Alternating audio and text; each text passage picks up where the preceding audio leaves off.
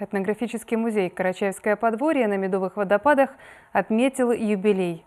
Десять лет назад руководитель известного курорта Муса Баташев решил, что помимо развлечений, отдыхающие должны знать об истории, обычаях и традициях местного населения и притворил в жизнь свою идею. О том, что из этого вышло, расскажет Алла Качеева. Даже если по минимуму считать, что 200 человек посещает в день, за 10 лет у нас образуется полторы, э, полтора миллиона человек там. Ну, я думаю, что где-то порядка двух миллионов посетило. Ну, это очень хороший показатель. Думаю, что на юге России ни один музей такой посещаемостью не можешь похвастаться. Все началось 10 лет назад со сторожевой башни, которую построили здесь, на Медовых водопадах, по подобию старинной. Спустя время внутри обосновался очаг карачаевской культуры, и карачаевское подворье пополнилось десятками экспонатов. Заходя в музей, попадаешь в другое измерение. Здесь как будто остановилось время. В Карачаевском музее на Медовых водопадах представлены десятки экспонатов 19, 20, 21 веков, самому старинному из которых более тысячу лет.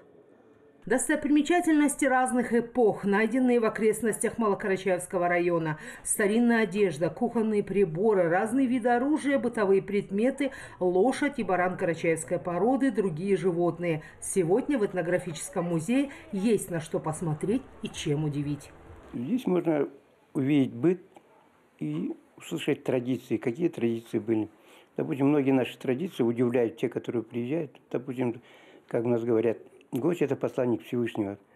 И то, что человек, переступающий твой порог, он твой гость. Даже будучи он твой кровник, если спасаясь от кого-то переступил твой порог, ты не имеешь права ему предъявлять, что он твой кровник. До того, как ты не решил его проблемы, накормил, напоил, проводил, после этого он опять твой кровник. Но в тот момент, когда он переступил твой порог, он твой гость. И юбилей Карачаевского подворья разделили те самые гости. Делегации из Кабардино-Балкарии, городов и районов Карачаева-Черкесии, руководство администрации Малого Карачая, многочисленные туристы со всех уголков России. Хотел бы поблагодарить э, руководителя этого туркомплекса за тот труд, который он вкладывает в развитие, для развития туризма за его общественную позицию, за то, что он один из тех, который поддерживает участников э, спецоперации наших ребят на передовой. Не просто словами, пожеланиями, а конкретно, материально. Очень важно, что здесь не только красота природы, красота человеческой души, а, но и главное, распространяются традиции карачаевского народа и того народа, который здесь исконно проживает. Соответственно, есть и музеи, и национальные блюда, и много чего еще. Поэтому люди, уезжая из Медовых водопадов, зайдя в этот этнографический центр, музей, они получат гораздо больше информации о том, что здесь, откуда здесь, ну и главное – о народе, его быте, который здесь, собственно, из поколения в поколение существует.